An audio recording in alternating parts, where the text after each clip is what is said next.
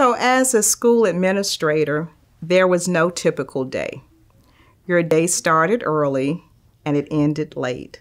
But the one through line for all of it is that as an administrator, we were always advocating for the needs of students. So that might entail meeting with the district attorney's office about truancy intervention programs.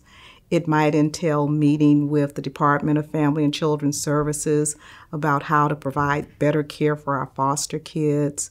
It might mean meeting with our school board representatives to talk about various policies that support students, including how to get more staff, how to get more counselors, nurses, school psychologists, etc.